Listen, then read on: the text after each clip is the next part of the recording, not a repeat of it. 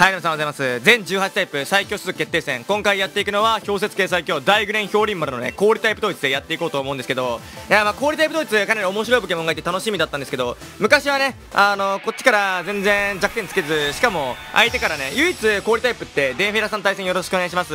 相手からの攻撃半減できない何のタイプも半減できない唯一のタイプなんですよ。なんで耐性面がもうボロボロ氷タイプがつくだけで弱点が増える。そのくせ弱点多いからな。まあだからきら辛かったんですが今は割と尖った種族値のポケモンが多くてやってて楽しい。さあ相手ドヒドイデから来たちょこれ出し負けだな。さあちょっとクレベースは夢特性のね頑丈をあれしてきたんですけど氷っぽ出すかちょデリヘル デリヘル呼んだらデリバードが来たみたいな感じでデリバード出すか？独特なんだよな。必中で氷っぽ HP 調整したいからでクレベースももらうわけにはいかないんでまあちょっとたすきもったいないですけどデリバード出します。さあ張り切りデリバード。このデリバードの型俺ちょっと革命的だと思うんだよな。道連れカウンター張り切り大ジェット型ねこれ。あネットでぶん殴ってきた？え独特じゃないんだ。まあまあまあまあ。ま あデリバードすらも半分いかないんだこいつのやつって。さあどうしようかここ。まあ一回ドリル口まし。ままちょちょなんか急急所当たってくれデリバードデリバード急所当たれお前頼む俺ドリル口まで一緒したつもりがネット急所コーランスコーランスコーランス。落ちて落ちて落ちてデリバース。いやどうしよう。でもちょっと待ってここ道連れ見したから道連れ見したから相手殴ってこざるを得ない。ちょっとドリル口ばしてまあ毒毒毒毒で死ぬんだけど。マジ押ししたわ今。いやここで道連れ見せたらな。はあ考えられる限り最高の難易度。まあまあまあいいでしょう。あてかこれ逆にプラスに考えよう。うんここねデリバード死んでよかった。なぜかというと俺の新しく育てた高一歩ちょっと高立歩 HP 調整頑張ってすごいね革新的な原太鼓身代わりカムラ高立歩育ってきたんですよね。でこれで試練の続き覚えさせてるからドキドキは突破できる。さあで S 最速ぶりなんで身代わりで上取って相手の毒毒避けましょう。でちなみにこれ熱湯だったら身代わり壊れないです。なぜかというとアイスフェイスの時は硬いから。このね身代わり型多分ね刺さるんだよな今の環境。さあやっぱり殴ってきたあとか普通に殴ってくるのか身代わり壊れちゃうな。壊れちまったら壊れちまったで。これ2回目で壊れるんですよね。そう腹太鼓やった後に身代わり壊されてしまうんですが、まあ、関係ねえや一発で振ってますから、まあ、ダイマックスね切ってしまったらどちらにしろ壊れてしまうのでただこのアイスペースの状態でカメラ発動しても100 100族ぐらいまでしか抜けないんですよね。最速112の1.5倍なんで160ちょいかな、まあ、だから95まあミミッキュはギリ抜けるぐらい。だったらどうにかなるか。はい素早さが上がる。でこれね何が強いかって高立歩に対して一番安定の行動ってまあ特殊化てか物理以外のやつに引くじゃないですか。でそこに身代わりが入ってその後に原太鼓からこのアイスフェイス状態でもねカムラで上を取れるっていうのがめちゃくちゃ強い。これダイマックス切りたいな。え統治化されて死ぬのが一番嫌なんでダイマックス切ります大最高で。統治化の毒は猛毒じゃないんで普通に8分の1かな毎ターンだから38の1919で2ターン後に死んでしまうんでダイマックス切って統治化打ってこようとも関係ない。先にフィールド張っちゃえば影打ちとかもね先制技無効にできるんで。まあもうどちらにしろアイスフェイスだから影打ち効かないんですけど。さあポリポダイマックスを切っていく。ちゃんとダイマックスダメ？振っていた。相手特殊てかあれか。ロトムがロトムが出てきますねこれ。けどけどですよ。ロトムが仮に出てきたとしてもあいつちょっと待ってよ。ロトムのコーリッポの112の1.5だから56168でロトムが最速確か86度だから86族ぐらいだったから最速ロトムだったとしても157なんでスカーフロトムじゃない限りは上は取れないこのアイスペースの状態でも。さアイスペースイコール遅いというアーマーガー。アーマーガー。えアーマーガーで止めれるかこいつ。大アイスで。まあでも上から鉄壁いや積まれねえんだ。俺の方が上取ってるから。まあでも一発与えられそうだな。いくら腹太鼓積んでるとはいえ元の火力が弱いから。ダイマックス切ってきた。なるほどね。そっちにダイマックス切るのか。だったらこれ大アイスじゃない方が良かったか。なぜかというとまあ一回ねこれで剥がされてしまうのであ待って大ジェットで上取っていや変わんねえな。アイスフェイスで解けるんで上取れます。さあマガがダイマックスしてきた。B 上げられてうわきついな。大ウォールか。ちょっと厳しくなってきました。さあ防がれる。けど大アイスぶつけるしかないな。うん大アスぶつけていきましょう。一発は相手の攻撃防げるんですけどラスイチ多分ロトムだからえいやあるあるある。まだあるまだある。全然ある全然ある。さあ首をかしげて。半分入ってくれれば元のね映画こいつ100ちょいしかないんで4倍でも400程度。だからドリューズとかその辺が次の前1回待ったのと同じ火力しかないんだよな。腹ない子したとしても。で大アイスがおお割りかし入った割りかし入った。割りかし入ったがここで相手が大失礼してきたら次のつららばりで落とせない。大ナックル。あ大ナックル？ボディプレイか。ボディプレイ型ね。オッケーオッケー。さあこれでアイスベースが溶けるがつららばりのあれ次第だな。当たり方次第だな。さあポンとこれで S135 がじゃあ S136 だっけな。135か。生まれてきてカメラなんでもう確実に上は取っている。さあいやつららばり。落ちねえだろうな5回当たっても。5回当たればあるいはって感じか。いや5回当てろ5回当ててギリだぞこれ。1回でも急所当ててくれるわそれで。はい1回。あいや4回でいけそう？2回。次から次から次から勝負。次から勝負。頼む。させめてさオッケーオッケーオッケーオッケーあられダメージで。あられダメージ知るかこれ。おお神様。神様。しかもこれアイスフェイス解いてくれたからもう後ろヒートムだったら勝ちだろ。だって俺頑丈クレベース残ってますぜ。ミラーコートの餌食にしてやるよ。さあスカーフロトムだったとしてもこれ上取ってます。はいロトムンゴ出てきた。思念の頭突きで確定一発死亡なんですけどまあ念には念を入れて外す思念の頭突き外しケアとかしなくていいか。待てよ思念の頭突き外してオバヒで死んで相手が気合のたすき持ってるのだけ負け筋。だ気合のたすき持ってるわけねえもんな。いや。あーいやいや。外 さんやろ。外さんやろお前。死念の続きを。あ当てていく この氷っぽどうすか？この氷っぽどうすか？身代わり型氷っぽ。いやちょっとあいつクレイベースも見せたかったんですけどまあねこんな感じで氷統一は面白い感じになっているので今回もよろしくお願いします。はいそれで2戦目やっていきましょう。相手のパーティーはうんとジェラールドンが結構刺さってるからメタモンはあんま気にしなくていいかな。デリバードから先発行きましてジェラルドンジェラルドンケアでクレベース一応持ってミラコ対策していって残り1体は特殊まあ物理側アイスっぽのでいくかバあバリコールだな。相手の物理はねクレベースとアイスっぽで完封して特殊方面はちょっとあのバリコールでねまあ、1体しかいないんですけど相手で完封できればいい。さあアウロさん対戦よろしくお願いします。かっけえそのそのエフェクトかっこいい。さあそろそろ俺もリーグカードを変えよう変えようと毎回思いつつ、まあ、すぐね対戦に潜ってしまう俺の病気が発症していて。うわいいファッション。まるでゲンガーを思い出すかのような紫色。でであー血塗られたダダリン。え血塗られたダダリンか初手。それは予想外。氷タイプエイド統一にダダリン。何してくんだ？スカーフ？ってなりましたらいやもうこれダイマックス切るか。勇気のデリバードダイマックスでしょこれ。デリバードダイマックス。気合のたすき持ってるからぶっちゃけダイマックスいらないんだけど張り切りでね外す可能性あるんで。張り切り大ジェット見せてやれ。一発で落としてくんねえかな。A 曲振りしてるんで。頼みますぜデリバードかつてデリバードにダイマックスを切ったやつがいるだろうか。クリスマスにこいつの動画いっぱい出てそう。まあもちろんダイマックス飴はお前なんかに振ってねえよと。貴重なんでね。ダイマックス飴。さあこれ間違いなくあダイマックス切ってくるんだ。あこいつに切るんだなんだ何してくるんだ？大スチルか？普通に。アンカーショットのあれで大スチルを張ってくる。まあだけどこいつがダイマックス切ってくれたのありがたくね。間違いなくデリバードで打ち勝てるから大ジェット2発で。全然構わん全然構わん。さあこれで大ジェットが一発入っていく。元から上取っていて張り切り込みで。半分いく強い。こうやってダダリン硬いから普通に。で素早さ一段階アップ。これで後ろ後続抜けるんですよ。うわああ それがあったか。だそれがあったかっていうか、まあ、もちろん大スチールですよねって感じで確定数ずれる。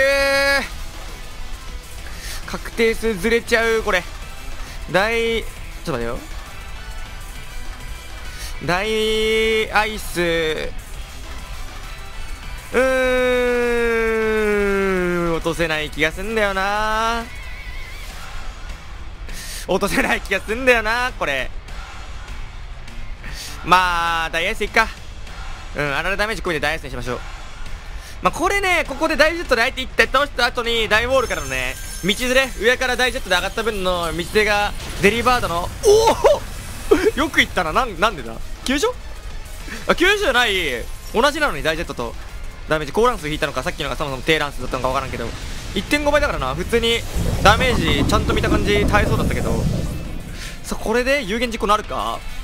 さあ何が出てくるか相手。まあ間違いなくあいつはいるだろうな。あのあいつあいつ。ジェラルドンはいるだろうから。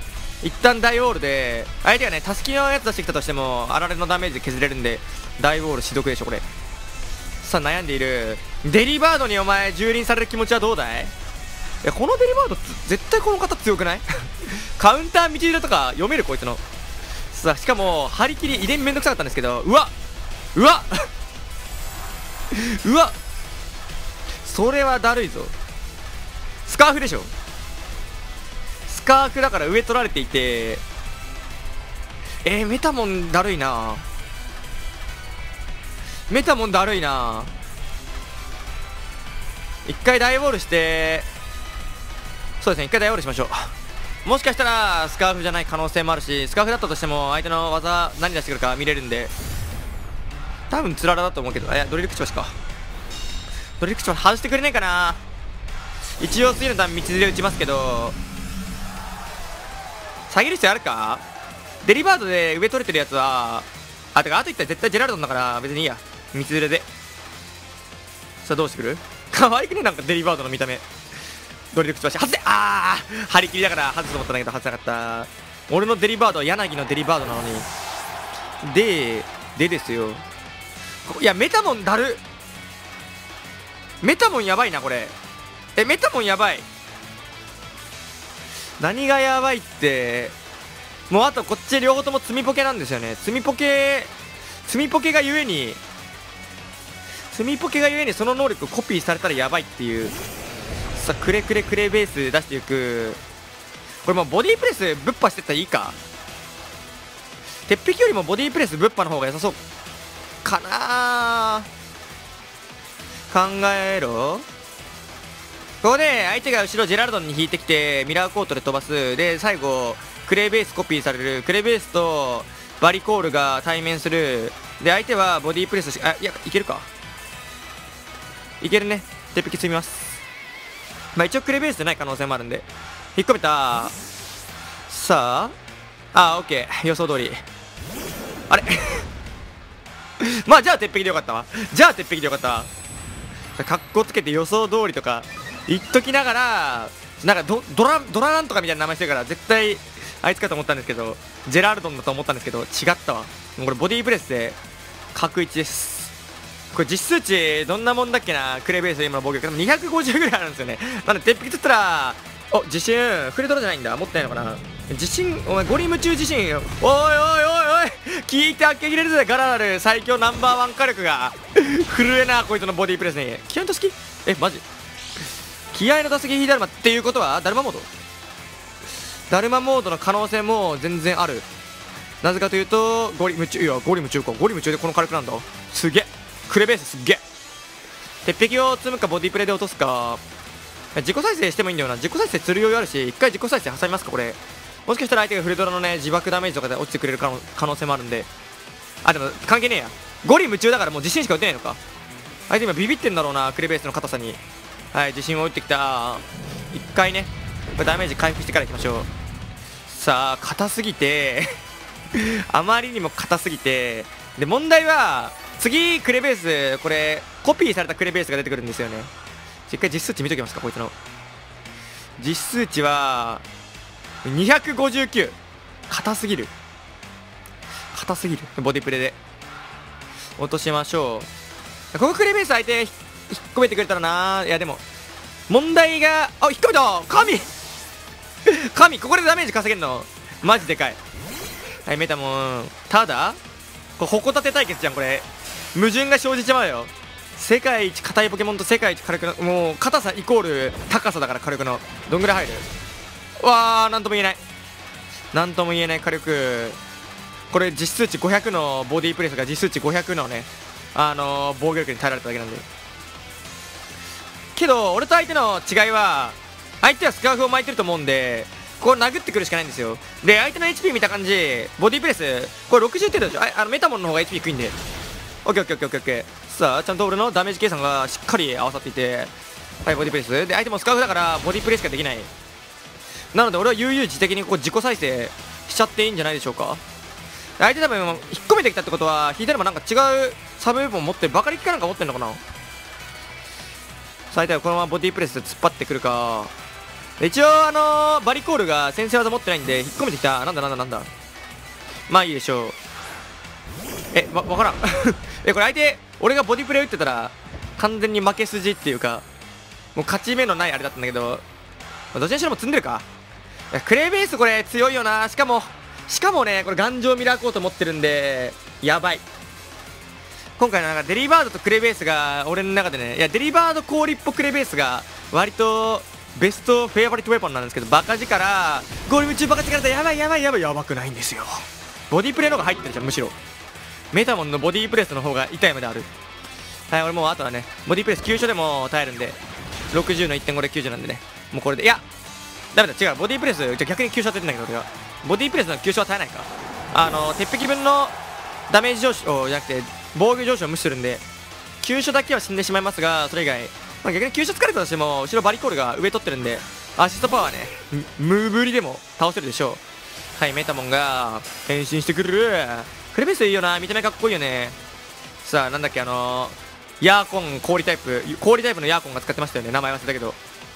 ゴッフルみたいな名前してたやつ。あいつ BW だっけな。なんか自分リーダー BW と XY が俺混合されるんだよな。高さんが選ばれました。いい手じゃないましたはいそれで4戦目やっていきましょう。相手のパーティーはあまた砂巻き要員が2体なカバーカバーでも出てくるのかな氷タイプ統一に。わりかしこっちのメンツが刺さってるし相手から弱点つけるのアーマーガーぐらいか？アーマーガーバンギあたりが出てきそうですね。なので、まあ、デリバードから入って雪の上3台かな？左のデリバード氷っぽで、まあ、的確にね弱点と火力をついてやっていきましょう。最初雪の方の、ね、持ち物をしっかり空振り保険から光のエンドに変えてきていて。で多分所定えー、翼さん対戦よろしくお願いします。バンギか雪の方でこっちのあれをね天候を潰しに来ると思うんですけど雪の方の王の方がね素早く速いから相手のね砂軌道が後で起こるんですよ天候の。のよってマンブーから来た熱い脂肪か。そうか熱い脂肪でなんやかんやしてくるやつね。熱い脂肪でなんやかんやしてくるやつだったとしてもこいつってたすき率めちゃくちゃ高いですよね。あやばい。やばいなこれ。あのつらら張りでたすき貫通してやられる。つららでたすき貫通してやられるのがちょっと痛いから一旦ひだるま引きありだなこれ。ひだるま引きます。ひだるま引いてなんかバカ力かなんかでちょっと上から殴っていきそもそもマンムーにデリバード素早さ勝ててないからちょっとそこはきつい。さあ相手あーデリバード処刑宣告のお知らせ。いや待ってデリバードどころじゃねえ。これ大惨事だ。これ大惨事だおバカ力覚えてねえじゃねえかお前。お前バカ力どこに置いてきた？どっかに忘れてきてしまっていて。えやば。やば。ステレスロックやば。えステレスロックやば。引くわ。ステレスロックとか引くわぶっちゃけ。どないしようこれ。助け持ってそうなのはこいつやな。フレドラで不用意に突っ張るぐらいだったらつらら落としでひるみでやった方がまだましか。反動ダメージもあるんでね。はいつらら落とし。これゴリ夢中スカーフだと思われるキーダルマですが今回ねあの腹太鼓ダルマモード俺がよく使ってる。あれは氷っぽがカメラを持ってる関係上使えなくて実践、え一発は耐える。よしよしよしよし。で耐えてこれダルマモード発動さあ火力アップしたことによって次のつららは止まんないぜ。つぶてで死ぬんですけどね。つぶてで死ぬんですけどね、まあ、まあまあまあまあつぶてで死んでしまうんですがこれこれやってんなこれ。え？え？お落ちる。あ。あ。想定外の事件が起きてフレドラってよかったまあまあまあ氷一方で腹太鼓詰めねえいや詰めるのか？逆に逆にこれ身代わり一回貼ったとしましてもう行こう !GO! Go to hell! 自信ゴーつららばりじゃなかったのありがてえ こう相手つららばり持ってたらきつかったわ。もしかしてこいつつららばり持ってない？つぶて自信つぶて自信ステレスロックプラスアルファなんかそれだったら初手デリバードでぶっ破していってもよかったんですけどさあこれであのー、氷のつぶてダイマックスして耐えます。大体後ろ先制技持ってんのが他にいない。あれ待ってこれ買ったくね？え待っていけるぞこれ。おいなんかいけそうな匂いがプンプンしてんだけど。とりあえず大サイコから入るか。まだアイスフェイスをここでかぶる意味はないから。まあ、どの相手にももう上取れてるんで最悪一発ね加えてからアイスフェイスをかぶるっていう荒技していけばいいんで。さあダイマックスを切っていく。頼むサンタでしてくれ。俺の 俺のプレミアサンタでカムラコーリップで補え、え HP2 倍になるんでつぶてじゃ死なない。まあ相手は最後っぺんにねつぶて打ってくるでしょうが。はいこれにつぶてこれがまずどんぐらい入るかだよな。ああダイマしなくても普通に耐えるんだね。けど砂ダメで死んでしまうのも嫌なんでこのまま大最古で一応先制技がね無効になるのでもういよいよこいつの上を取れるやつがいなくなりましたよ。で相手がやれる手段としてはアーマーガーをダイマックスうんアーマーガーダイマックス以外負けないかも。助けも勝手に俺はこいつって決めつけてるけど多分こいつなんでこれでいやなんか考えられる限り一番いい形になってないこれ。え考えられる限り一番いい形になってんだけど。あのあそこでヒヒダルマでマンムを落とさなかったことがうわ洒落たプレイングしてきやがったこいつ。洒落たプレイングしてきやがった。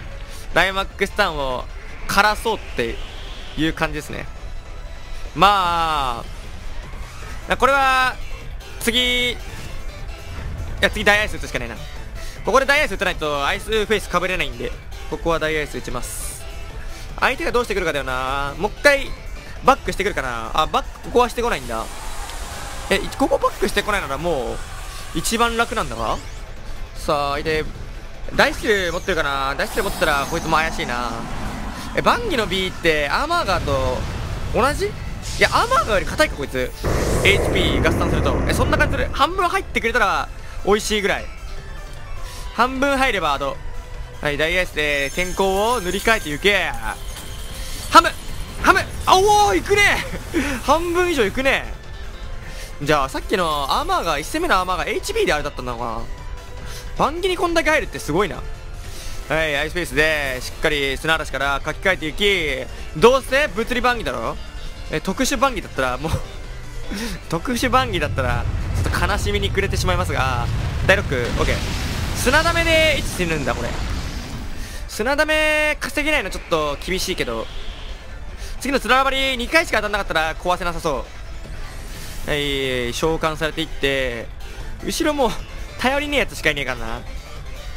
ただ引くこともできない。引いたらステレスロックで死ぬ。でこれ HP17 砂嵐のダメージは16分の1だから16分の1いや耐える耐える耐える。うんつららで落としてくれ。落としたらドキドキで死ねの頭突き。いや統治かかんのか。統治かかるわこれ。どうしよう。どうしよう。待って。バンギ落としたはいい。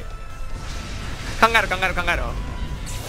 ホーリッポは次でも交代してもステロ巻かれてるせいで次地に足ついた瞬間死ぬんだよな。よって俺に残された勝ち筋はここ間違いなく相手統治かで今19から8になったでしょ。ということは次の砂ダメで死ぬ。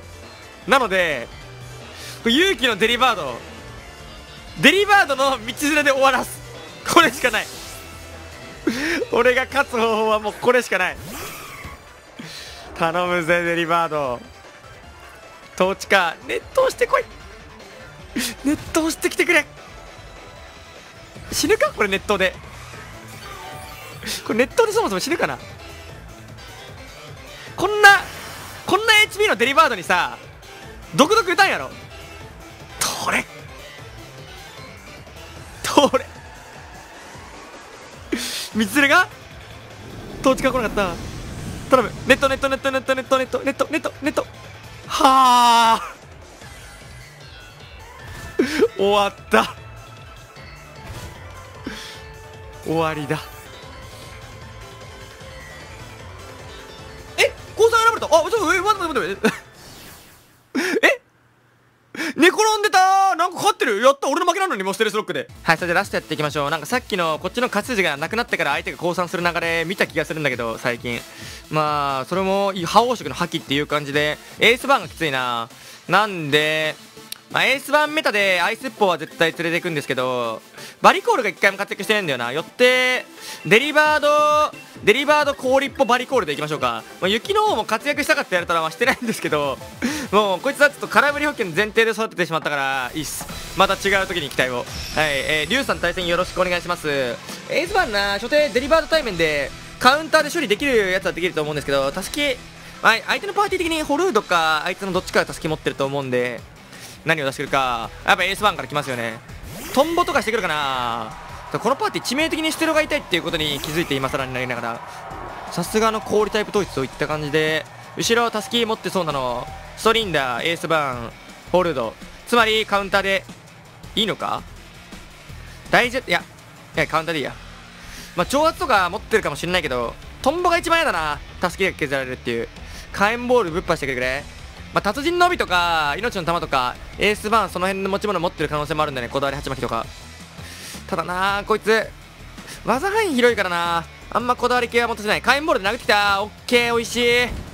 まあ助けだったとしても HP1 まで削ってくれたら先制技持ってるやつがいたらな。いいんですけど。さあえこいつが氷のつぶてであのつららまりよりも氷のつぶての方がいいかもしれないですね。こういう時のために。へい。お待って助けじゃない。神。達人かあれですね。命の玉じゃなかったから達人かな？分かんないけど何持たせんだろうな本当に。ラムの実とかもあるか。さあちょっとこのデリちゃん噛みすぎてここもう3つで打ちましょうか。素早さ相手の振り方次第だけど勝ってる可能性もあるんでね。ああ道連れが通ってしまった。嘘でしょ？嘘でしょ？嘘でしょ？うんメリークリストファー・ロビー。厳密あみたいにさあこれで2体持っていってくれたこのデリバード流行るな明日から。明日から俺俺流柳のデリバード流行る。これ MKR 式って呼んでください。すでに誰か他の人がやっていたらもうすいません。僕の負けです。さあバリーコールから出していく。こいつは何をする方かというとブリモンあいいですね。特殊に対して圧倒的強さ。こんな感じのあれなんだなポーズなんだな。瞑想鉄壁アシストパワー型です。まあイオルブとかで使ってた方と同じなんだよね。怠ける覚えてあの進化の奇跡進化の奇跡を巻いてる状態のあいつバリーヤード？ガラルバリーヤードの方が硬いんですけどなんか知らないけどあいつ怠ける覚えないんですよね。回復技。だから、まあ、バリコールにしてこういう風に使うと。特性は夢ボディのねアイスボディなんで。夢ボディ？夢ボディってなんですか？ダイマックス切ってきたけど。これ大バーマジカルフレームじゃ軽く足りないと思っての。大バーンですね。さあ瞑想を積んでいく。素早さはねそこそこ速いんで。これだから無駄に A 高いんだよな。まあ冬とかのダメージ増えるからいいんですけど。ダイマックス相手が枯れるまで粘りましょうかとりあえずは。さあ大バーンを打ってきた。どの程度？いやあいつ言うて高いからな。いやけ待って結構思った以上に入ったな。思った以上に入ったなこれ。これ思った以上に命の玉か。そりゃ入るわそんだけ。そりゃそんだけ入りますとも。う生キルで次耐えるこれ。死にそうじゃね？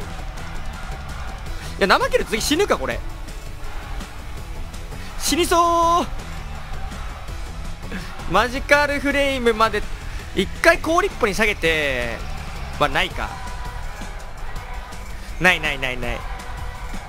高リップに下げてはない。アシストパワーいや怠けてみるか。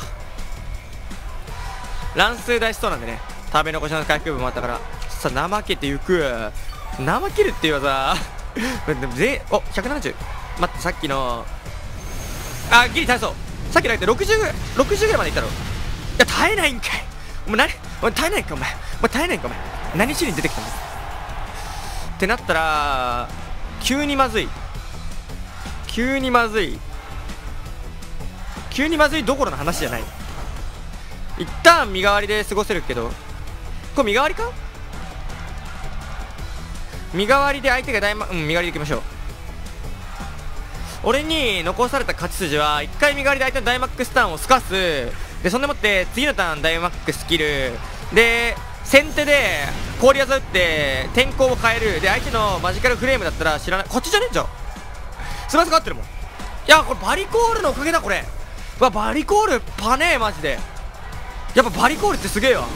すげえ。バリコールすげえ。さあこれで相手多分マジカルフレーム確定してるので大アイスでいいでしょう。でこのアイスフェイスの状態は D 高いんで。もともとねコーリップ D そこまで低くないんですよ。さあニョロモのかわいい。お乳から繰り出される。